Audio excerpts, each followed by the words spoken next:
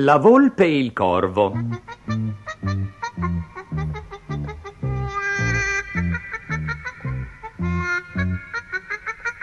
Un grosso corvo nero volava sopra un campo di grano dorato quando vide delle persone che facevano merenda all'ombra di un castagno.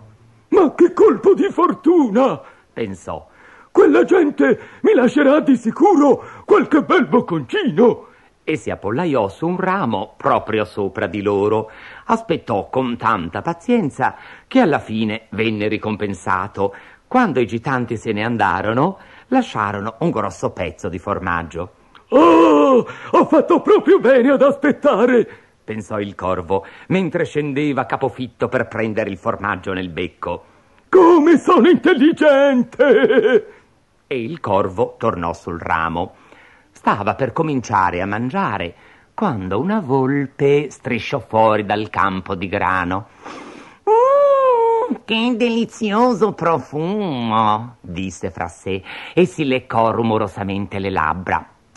Aveva la colina in bocca mentre alzava la testa per annusare l'aria. Fu allora che vide il corvo con il suo formaggio.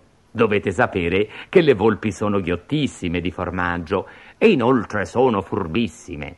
Ehi, dico, corvo! esclamò. Ma che bell'uccello sei!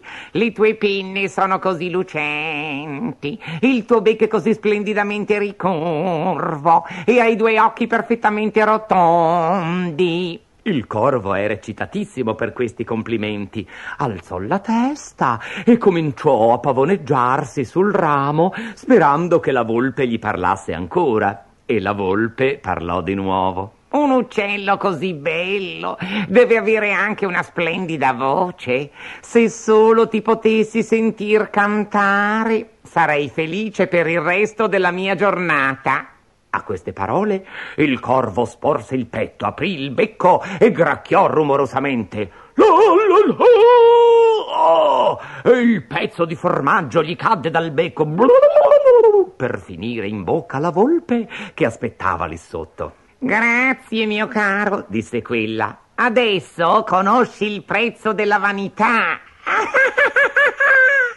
Ridacchiando sotto i baffi, ingoiò il formaggio Mm-hmm.